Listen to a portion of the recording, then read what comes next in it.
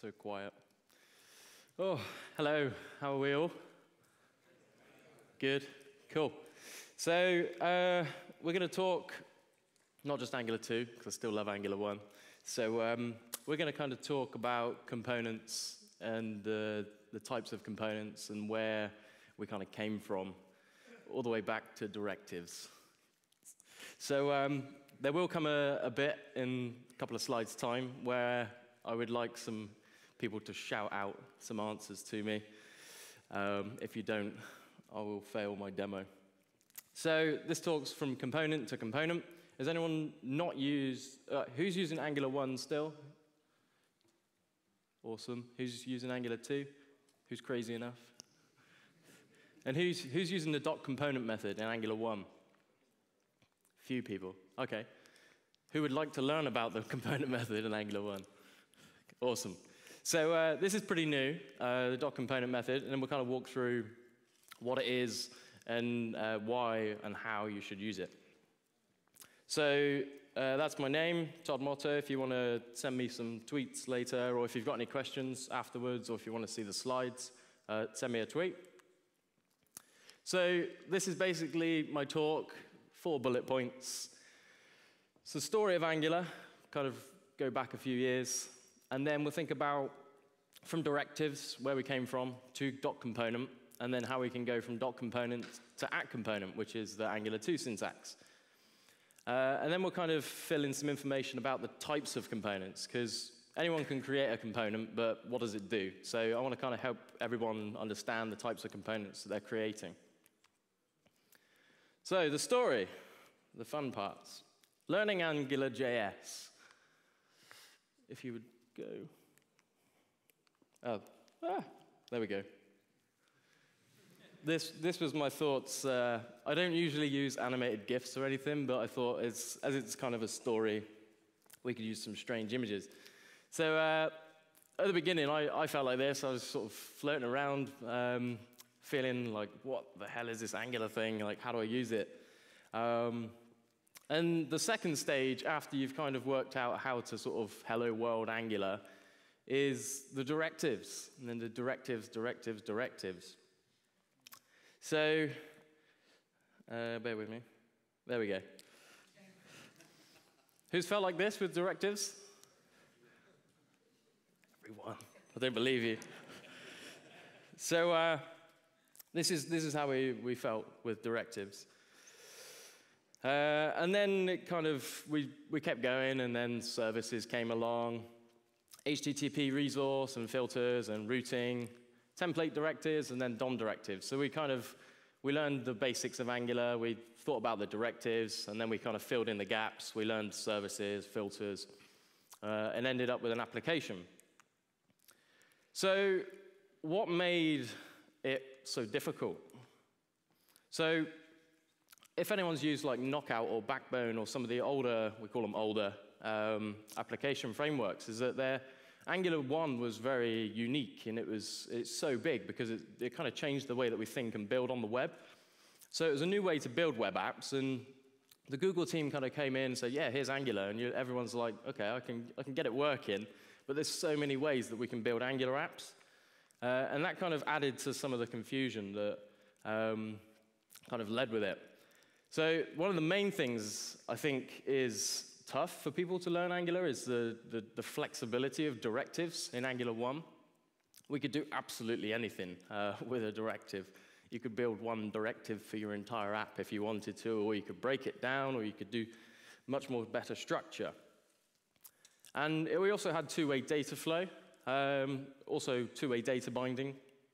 So if you update an input, you can update some text elsewhere. If you update the text, it updates the input, uh, which was okay, and now we've kind of moved on. And I've put the docs. That's, that's what also made it a little bit more difficult to, uh, to learn. So, dot directive. This is where I, uh, I need you guys. So, it's not too tasking right now, but can, I, can somebody name a property that goes on a directive? Link. Okay. So we have link function. What else? Scope, yeah. Restrict. Yeah. Transclude. Replace.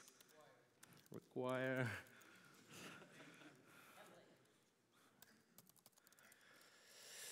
Template.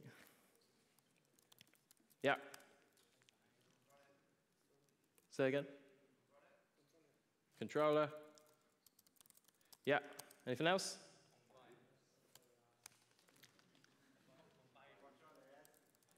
Yeah, we got compile, which then can return a link function or a pre-link or a post-link, so that's even more confusing. Um, there's also controller as. Um, bind to controller, true, or you can use the object form. uh, there's also some of the other ones like terminal, true, priority. So, so you end up with this huge list of things, and you, at the end you kind of think, what have we done? So uh, the good news is, is that we have this new component method in Angular, which makes the design of our apps a lot better. So let me flick back. This is kind of, if anyone follows me on Twitter, you might have seen uh, this next slide, but this is how I summed up the dot directive. So the idea here is that it works, but it's probably not that good. Uh, it can be improved. So, it works, but could be better. I'm ahead of myself. So, uh, this is when emojis were supported in tweets, uh, slides. So we then have this dot component that, that comes in and saves the day. We don't end up with this kind of mess. Uh, and we'll kind of look at, if you're still using Angular 1, I mean, that's great. Um, but there's, there's a bunch of these that we can just kill off because component is a completely new design pattern that we can actually use. So, component is like the new template directive. So we, we, we split it immediately. It has these lifecycle hooks. It's an isolate scope by default.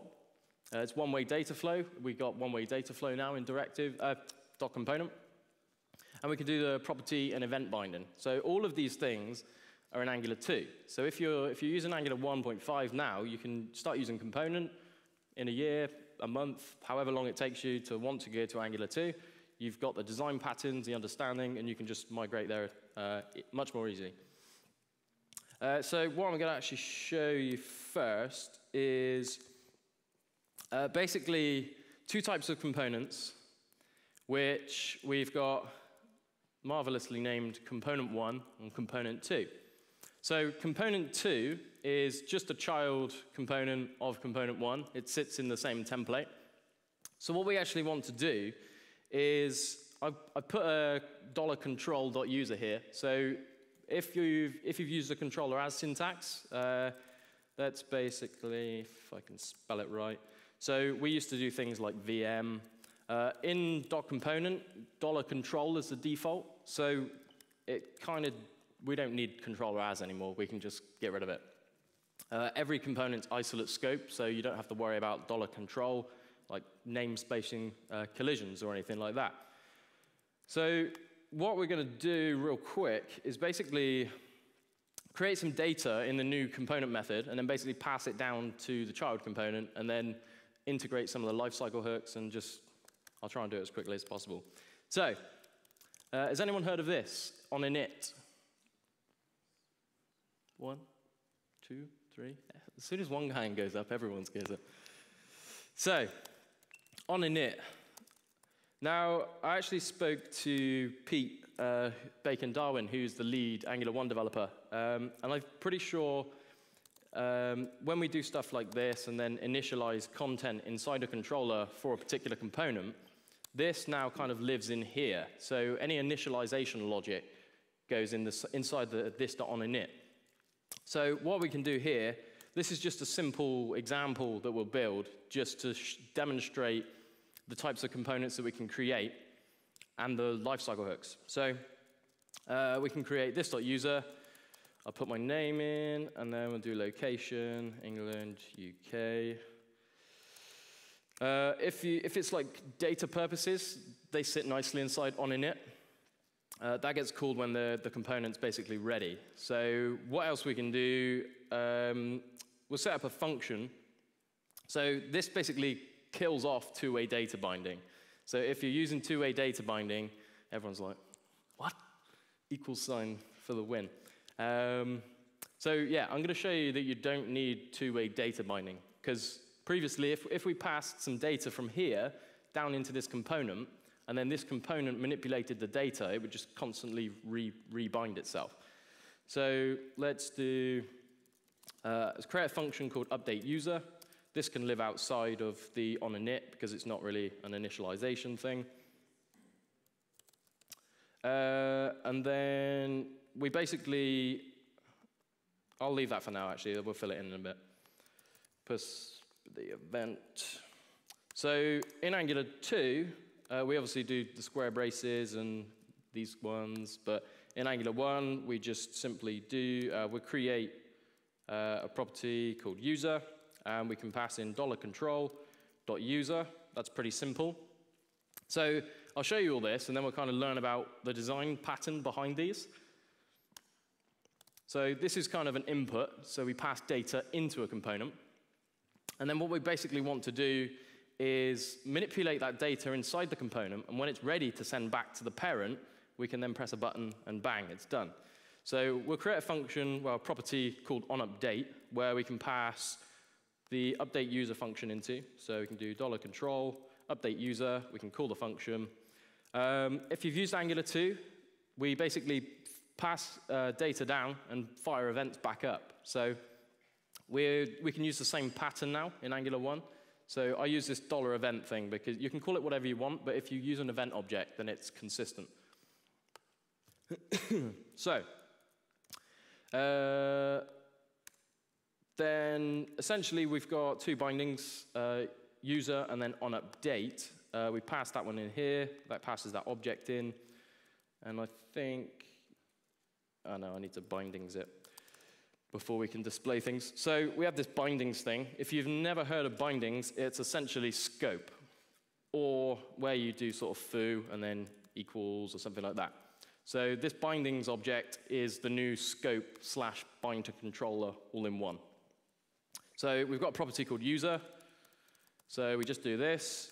And instead of doing the equals, we use the left arrow, which indicates one-way data flow. Could have gone the other way, would have made more sense. But that's pretty much it. And then we have this, this attribute here, on update. So we can do on update. And this is cool because I never really used to use the ampersand, but it allows you to pass a function down into a component. So let's have a look in the browser. Yeah, it works. Cool. So this, I'll blow it up a bit. There we go. Marvelous. So that object at the top is from the parent component, so it's actually up here, and then we're passing the data into another component and then displaying it.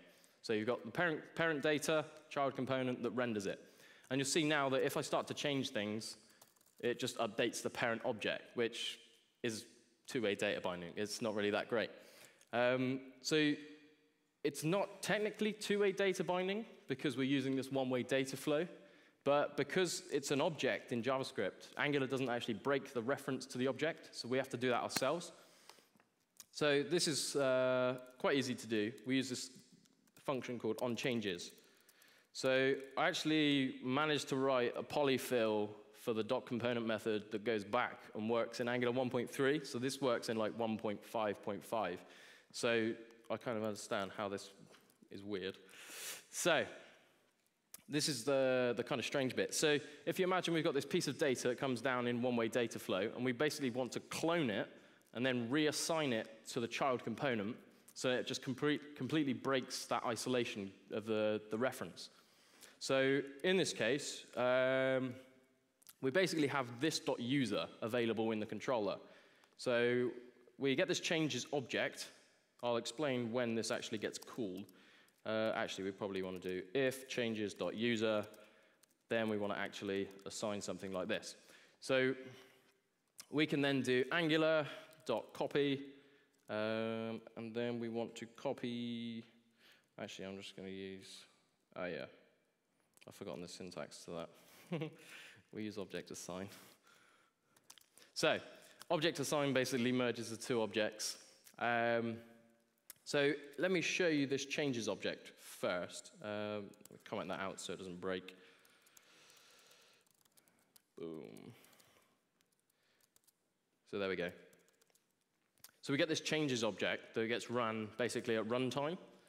And it's, you get a, it's a prototype function you can call is first change because this, you see that nothing's changed, but the function's already been run. So this actually runs at runtime. So if you want to do any initialization logic and cloning data, this is the place to do it. Then we have this current value and previous value, which there is no previous value because it's uninitialized value, which is just an undefined instance uh, in the actual code itself. So what we can do is use uh, changes.user and then this dot current value. So changes.user.current value. And what we can basically, I'll, I'll, log it out just so you can see it. So that gives us the whole object. So that's the object in the parent. We basically want to take that and assign it here. So object assign will basically make a copy and merge the object. So when we start typing, you see nothing is updating the parent. So this is much better in terms of predictability of your code. And yes, this, this piece is Angular 1, but the exact same concept applies in Angular 2. So when we hit this change details button, we then want to send the data back up. So let's quickly implement that. Uh, so if we do a console log, we should have this dot update user as a function, uh, on update. So update user is being passed from the parent into the child under an alias called on update. So if we console log this, we should have a function. Yeah, so we got just a function there. Uh, and then what we can basically do we want to call this function when something changes. So if we clone the data, manipulate it, and then send it back. So it's, it's this predictable flow of data rather than everything just updates everything. So you tell it when to update. Uh, so I'm going to create a function called onSubmit. Inside here, we're going to call the onUpdate function. And then we're basically going to pass the manipulated data back up uh, pass an object in, and here I'm creating a property called dollar $event. So this kind of, this is to mirror the Angular sort of syntax. Uh, la, la, la, uh, user, there we go. And then this dot user. I'll explain this in a second. ng submit, and then we want to call dollar control on submit. Don't need to pass anything in because everything's just available in the controller. So the flow of that is we get the piece of data, pass it into a property, manipulate it, send it back uh, via an event. It's like a fake event. Uh, hopefully this should work. Yay, it works so well. Uh, this dot on submit.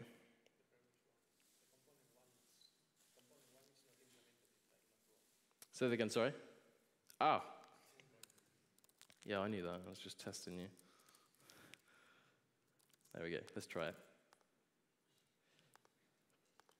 There we go. So, thank you. uh, so we basically pass a function down here, and we specify that the argument is going to be dollar $event. You could call it user if you wanted to, but it just keeps things consistent, just having event everywhere. Same with dollar $control. If dollar $control's everywhere, things look consistent. So we can log out the event, but what we want to do when the event actually gets fired is basically reassign this.user. So we can just do event.user, and that's it. I'll leave that there just so you can. So this update user gets passed in. We manipulate things, press the button. It then the child component then calls the function from the parent, which then basically just passes the data back up.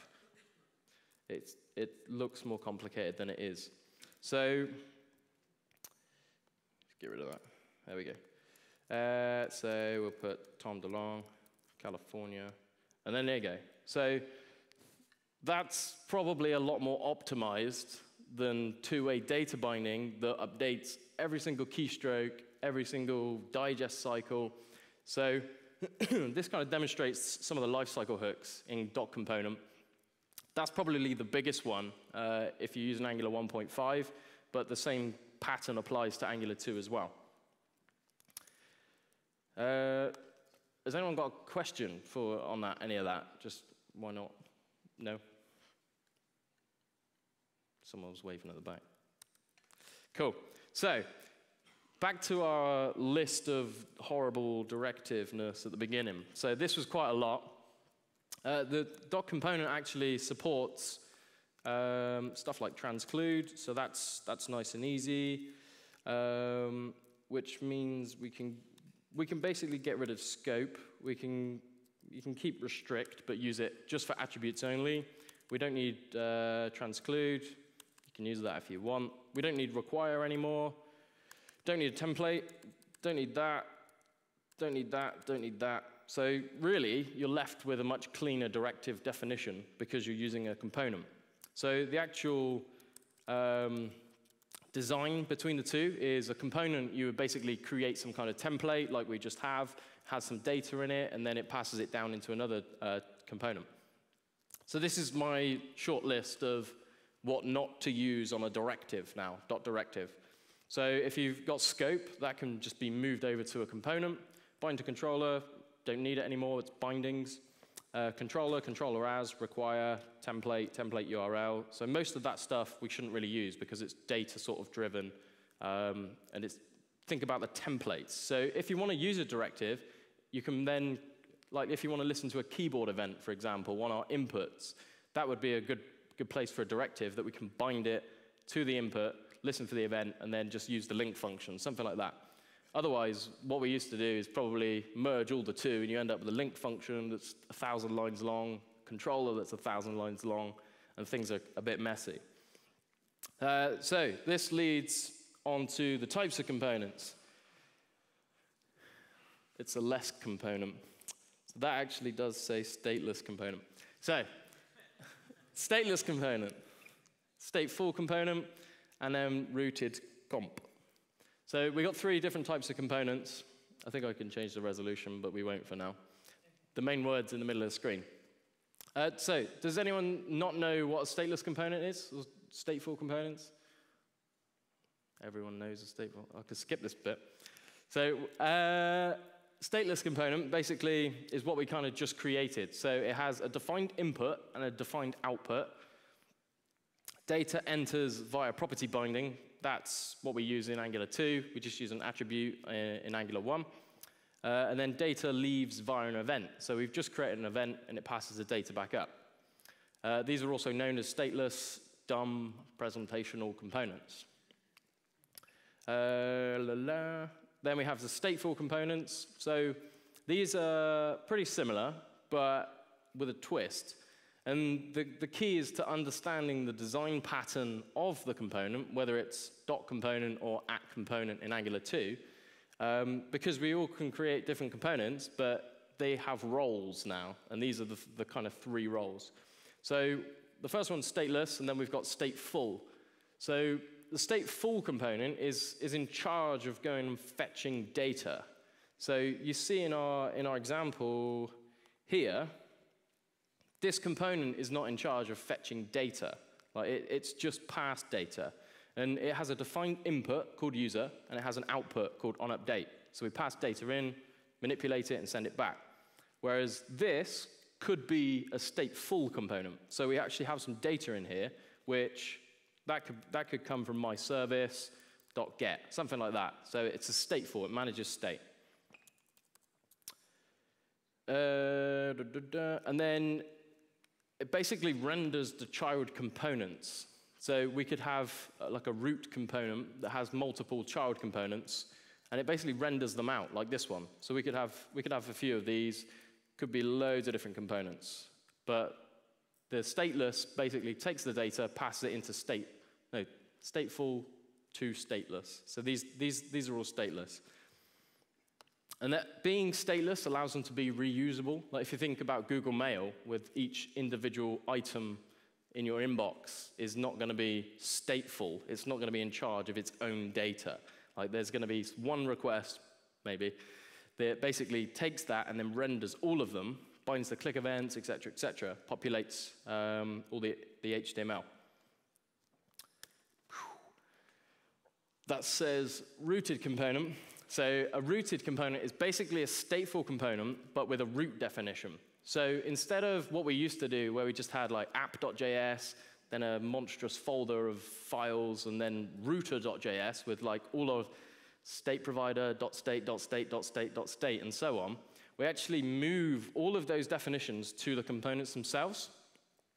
So if we wanted our component here to be a routed component, we could simply create like a, a .config on here, we can pass in UI router, we can, or ngRoute, not the new component router.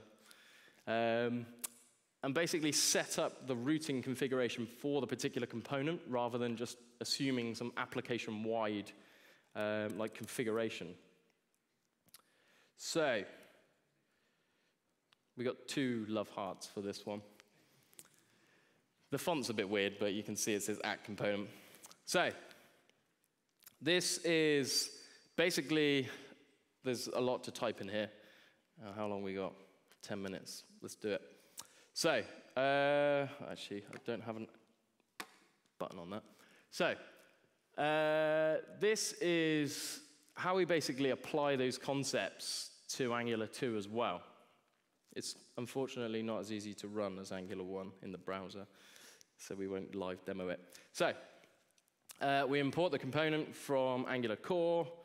We create some kind of component definition. Now, if you think about the dot component, this is exactly the same stuff. So if you imagine at component doesn't exist and you kind of merge this, this ES6 class with the at component, you end up with Angular 1.5's dot component, where you have a controller, a template, uh, and any logic, that kind of thing. So these basically decorate the ES6 class. They kind of merge the two and tell it what to do. So that's not a lot different from what we just saw in Angular 1.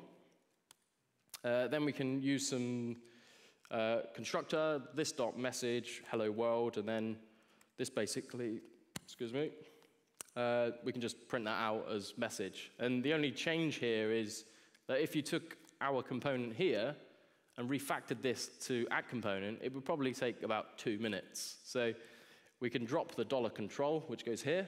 We can use at component instead, convert things to ES6. And if you're using ES6 with Angular 1, it will take you one minute, not two. So,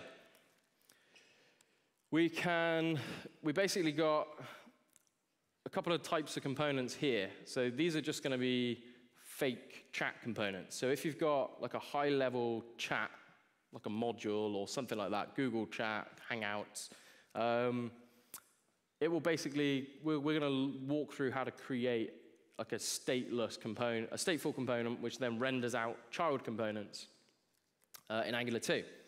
So let's assume we have this chat component defined somewhere else. We'll look at it next. We import it from chat.component, and then uh, this is a bit annoying, but we have to do it. Uh, we specify directives inside an array, and we basically just pass the reference to that component into um, the directives. That then allows us to use the custom element called chat. So in Angular 1, we could just register a directive and just start using it. Whereas if you want to use it in Angular 2, in a specific template, you have to use this directives array. So stateless and stateful components uh, in Angular 2. So if you imagine we've got this chat.component with that custom element, we basically, what we want to do, uh, we can import the usual stuff. We've got the selector called chat.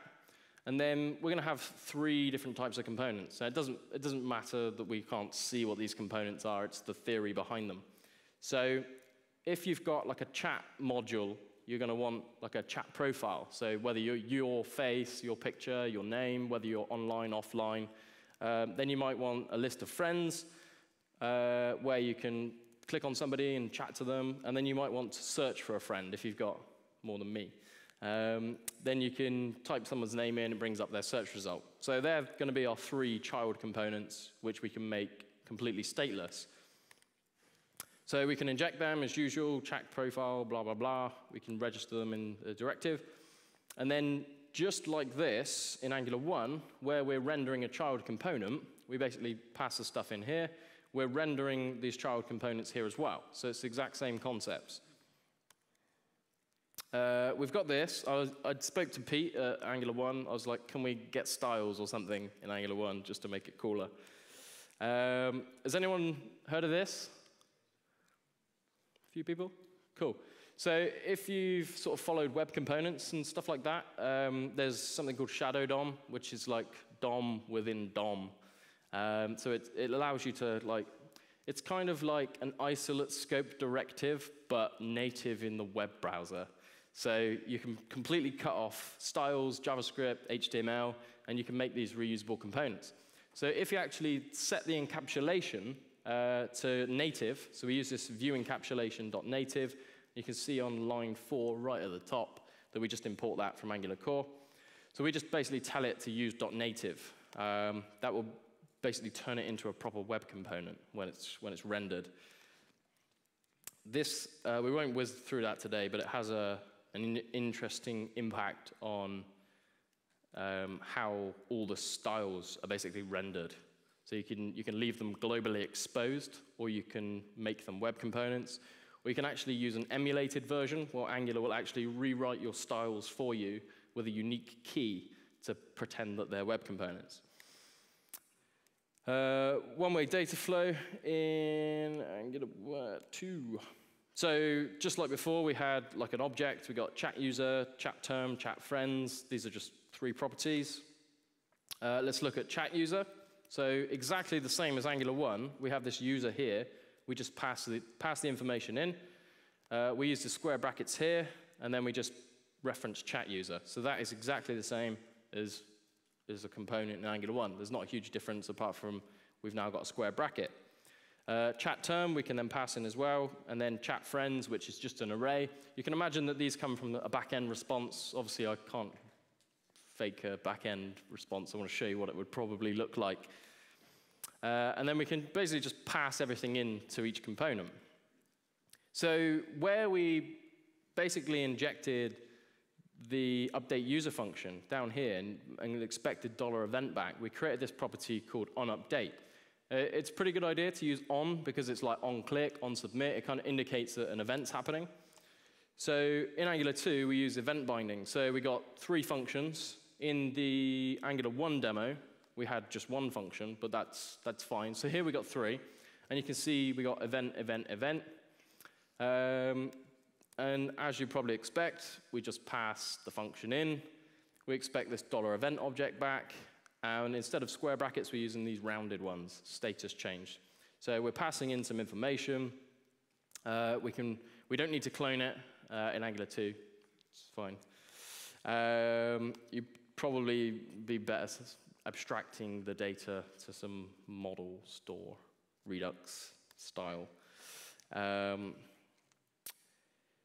then, so here's just an example, like if, if I have my search component and I start typing for somebody's name, I can then listen to those characters. Then I could maybe pass that back up to the parent, and then I can say, okay, so this dot friends, which, oh, that should be chat friends, I'm sorry. Uh, so we can basically like do a filter or something on the array that allows us to manipulate or go and make a search for the particular friend if they're not in that initial collection of lists. So all the work happens in this base sort of stateful component. So we take the data, delegate it down, all the little components do their work, and then pass things back up. So it makes it, makes it a lot more predictable and manageable. Uh, quick note on template and syntaxes. I'm trying to whiz through this. Um, so if in JavaScript you've got like an object, you can, you can dynamically look it up via square brackets, and then you could use like a, uh, a variable called key, but you, you can also do myObject.property or dot .foo, but you can also look it up as a string like if it's got a weird character in that you need to. So for the square brackets where we pass data in, think about an object like property lookup, Uh, and then for things that are events, think about these like as, as, functions, like on click or something like that, that's a function call. So this is just a, a short way that you can kind of remember how to do it. Uh, I've got one minute, let's go. Component five. Oh, wow. Time goes slower in Spain.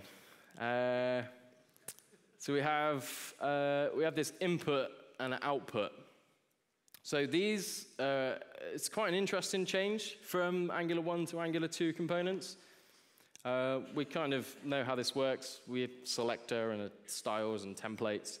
But, so before we look at that, well, I'll show you it in Angular 1, because changing from scope to bindings is quite easy.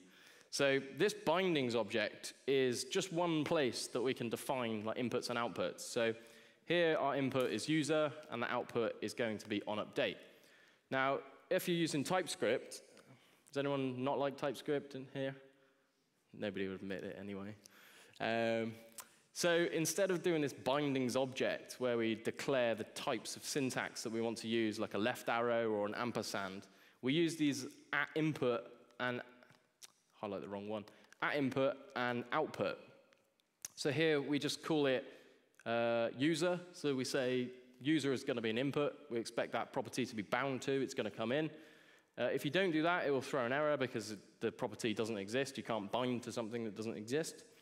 And then the output, now this is the interesting piece, is that we have this thing called event emitter. So we have to create this instance of an event emitter. Um, hopefully they'll clean this up because it's kind of, yeah. Uh, so that basically corresponds to this here. So you see where we're calling this dot on update in Angular 1.